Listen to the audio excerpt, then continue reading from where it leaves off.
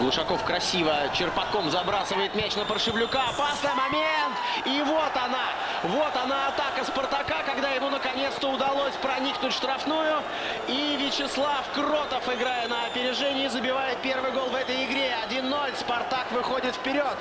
Как же здорово сыграл Глушаков. И очень расчетливая передача на линию вратарской от